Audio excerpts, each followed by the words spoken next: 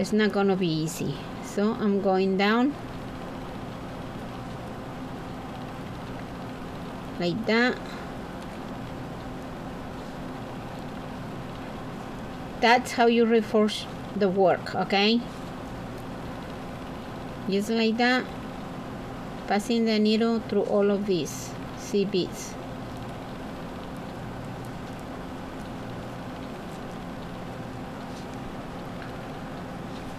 just like that.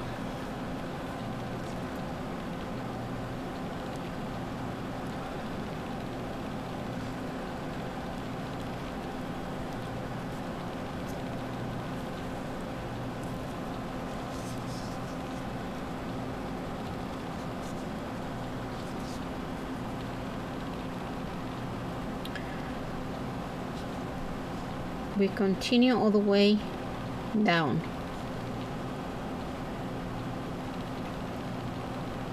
like this. And from here we go up like that.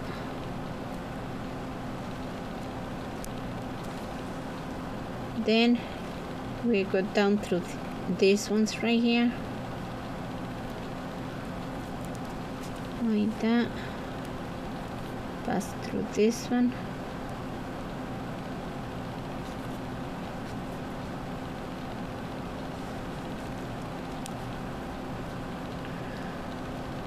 okay see right there? The way I do it is kind of close a little bit so it didn't look that bad I hope. It's like that. So pass it all the way down like this. And then return this way.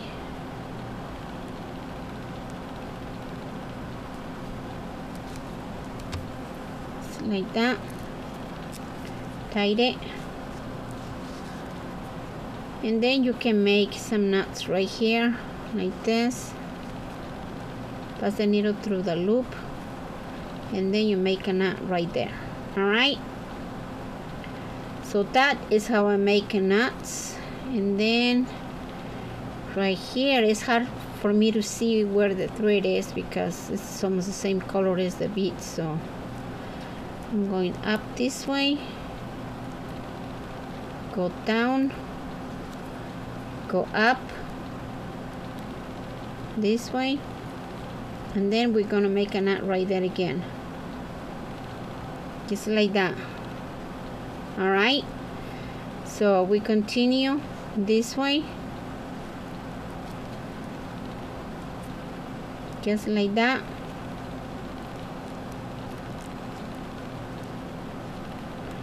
so you pass the needle as many times as you need it because you need to reinforce your work properly all right? And that's it. This one is done.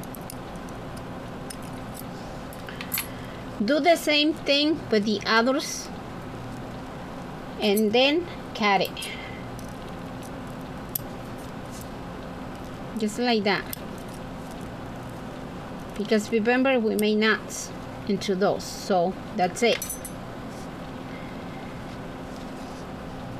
And that's it. That's how the um,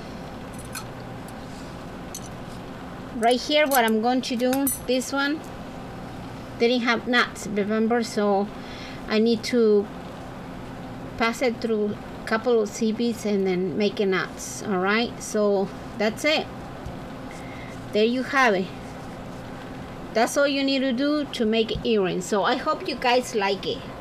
I do like it a lot so I hope you guys like as much as I do.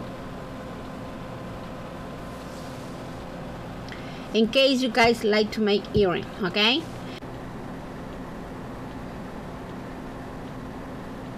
Don't forget to pass the needle through a couple of seed beads and make knots all the way around the earring so you reinforce it properly if not they're gonna come out.